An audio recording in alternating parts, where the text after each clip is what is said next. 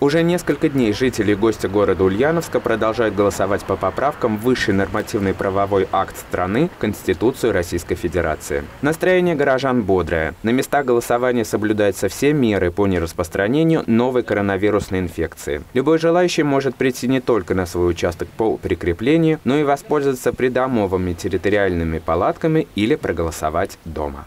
Пришла на голосование, проголосовала, да, как не скажу. Но считаю, что дело каждого, каждый должен прийти и проголосовать. Тем более сейчас нам создали очень хорошие условия. Если мы не можем прийти сюда, к нам на дом придут в любое время.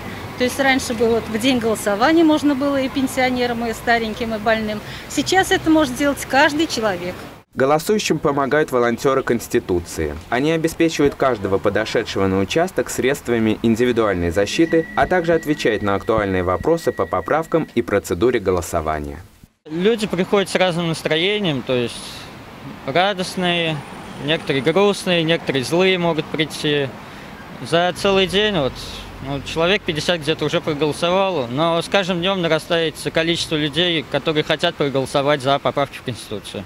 Избирательные участки по адресу места жительства также работают в полном объеме. Помимо волонтеров, здесь контролируют процедуру голосования общественные наблюдатели.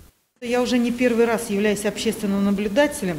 Э, с того момента, как у нас ввели общественное наблюдение, это с выборов президента, да, то есть я, каждый год мы организуем и представительство членов общественной палаты в ряду общественных наблюдателей. И, соответственно, я тоже уже из года в год несколько раз принимаю участие. Поэтому обучение мы проходили даже не раз.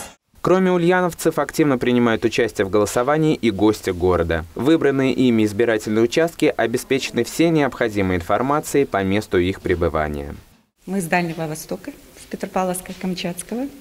Здесь мы голосуем по откреплению. А, поэтому вот даже издалека приехав, вот решили проголосовать.